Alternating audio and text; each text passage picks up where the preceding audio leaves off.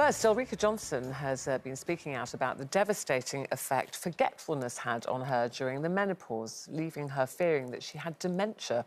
So, as part of our menopause manifesto, we've promised to keep talking about all the different symptoms you might experience. And I'm sure, like many of us, uh, you at home can relate to this symptom, which some people call brain fog. Gloria, did you, when we say brain fog, do you go, yeah, know what you're talking about? I thought about. you were talking about me at my present age and a bit of brain fog, but anyway, so far it's not too bad.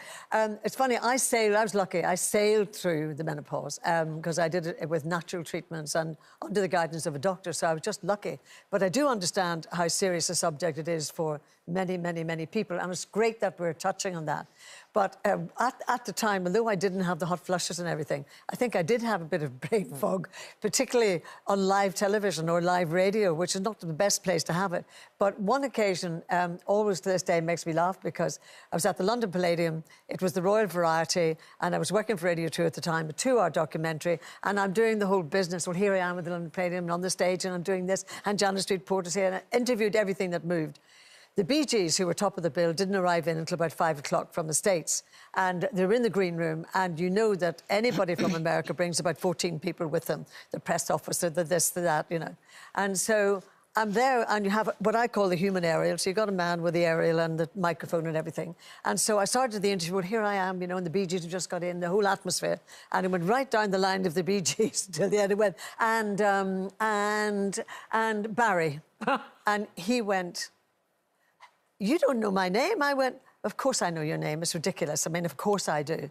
And he turns around to all these people and he goes, She didn't even know my name. Now, I'm hating myself inside, of course. So I started all over again. Here I am, da, da, da, go right down the thing, and Barry. And he starts the interview. And then he stops and he goes, says to the people, do you know, I still can't get over the fact that she didn't remember my name. I don't know whether I want to do this interview or not something clicked in my brain. and I went to him and I just said, I looked up at him like this and I went, Do you know what?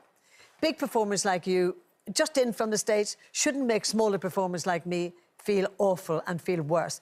I don't want to do the interview. And I said to the human aerial, We're going. Well and Philip Schofield was standing at the door and he was going, Yay!